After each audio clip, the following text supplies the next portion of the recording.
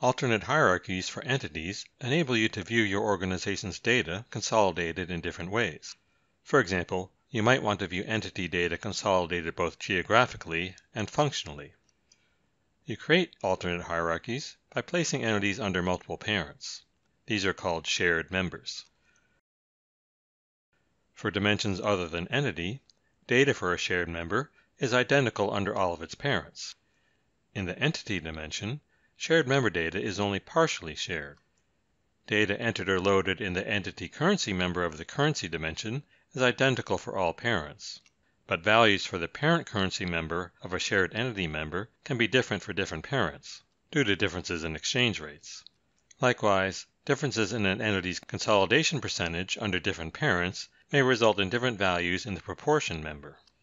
In addition, the consolidation process may eliminate intercompany data for a shared entity under some parents but not others. As a result, the values for the elimination members for shared entities could be different under different parents. Let's look at how you add entities to multiple parents in the entity dimension. You must start with a primary entity that has never share for the data storage value.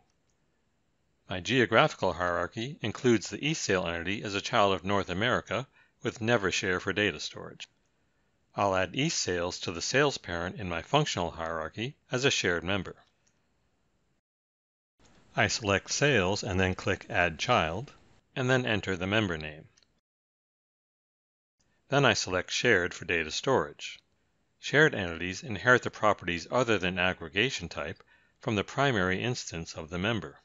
You should confirm that the aggregation type is set to Ignore for both the Consol and rates cube.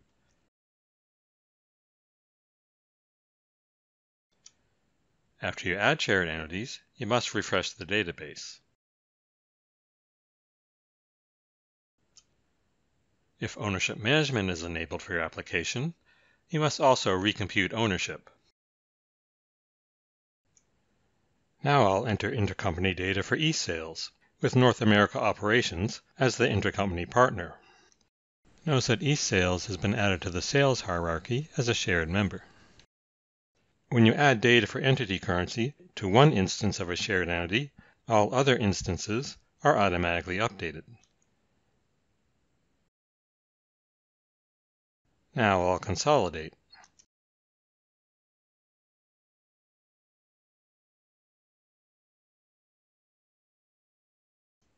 Because the parent currency in the North America hierarchy is USD, and the parent currency in the sales hierarchy is Euro, the translated values in parent currency are different.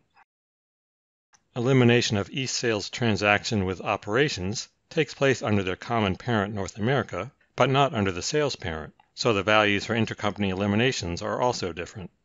The differences in currency and elimination values result in differences in the contribution to the parent.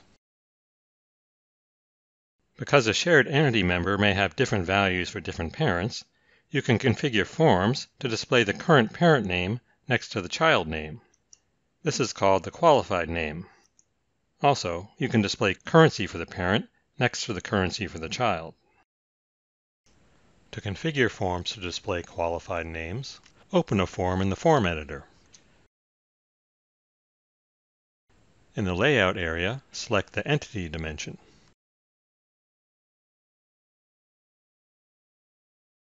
In the Qualified Name list, select the Display option. Select Never if you never want qualified names to be displayed. This is the default value. Select As Needed to display the qualified name for shared entity members only. Select Always to display qualified names for all entities. I'll select As Needed. I'll also select to display the currency.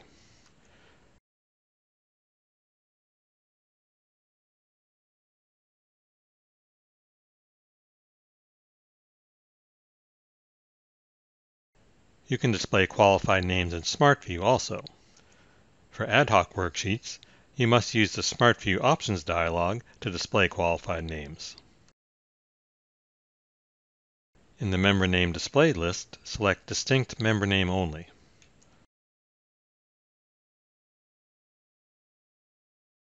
Refresh the worksheet to apply the setting. Note that Forms open in SmartView use the settings for qualified names that you specified in the form editor. To learn more, visit docs.oracle.com.